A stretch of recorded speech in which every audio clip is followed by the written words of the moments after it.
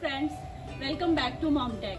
We all have set hard priorities in our life and the basic thing that is constant in all our lives that is a good health.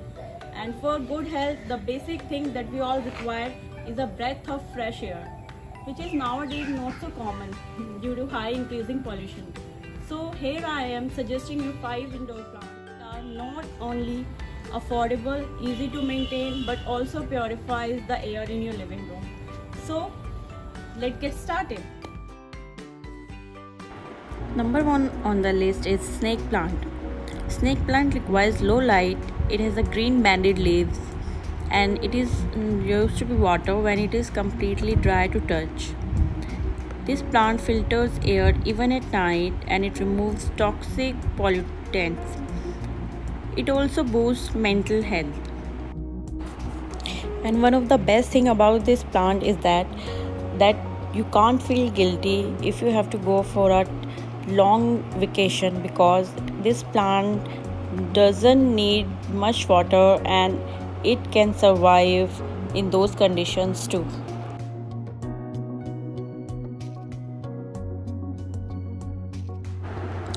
This plant is basically from the family of devil's ivy.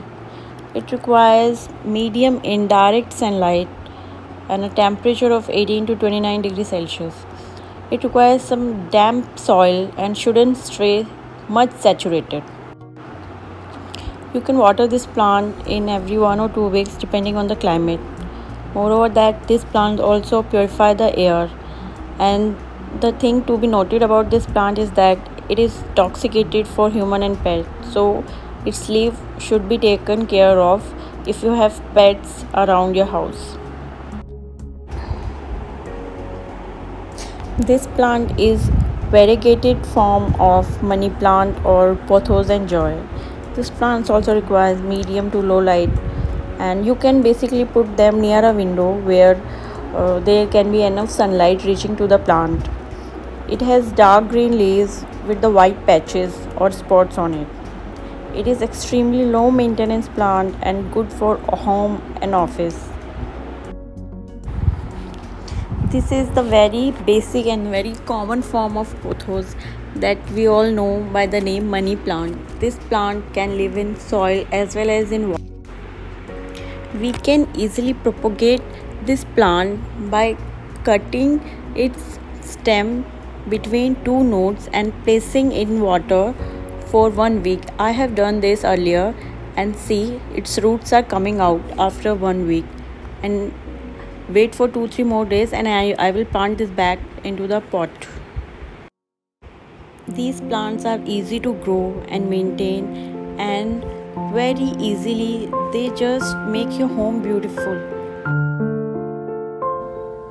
This plant also needs indirect sunlight and it has variegated green leaves with a creamy white spots. This plant can easily be trimmed to give any shape it needs humidity and it purifies air too. Most importantly, the leaves of these plants are toxic for the pets and toddlers, so be better safe. You can clean the leaves of this plant using the neem oil to clean it and make it spider mites resistant.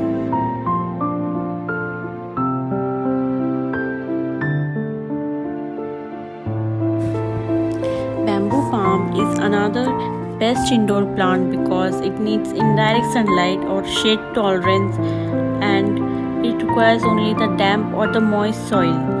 Natural symmetry of this plant can be maintained by turning the pot. Just remember not to overwater this plant because overwatering can lead to yellow leaves. Try and manage to keep the leaves dust free for better growth of the plant and on an interval mix it with neem oil and clean with neem oils to make it the insects free. Whenever possible, keep this plant outside for a good rainwater if possible because rainwater is the best therapy that this plant can have. This plant purifies the air by removing the toxins such as formaldehyde and benzene from the air.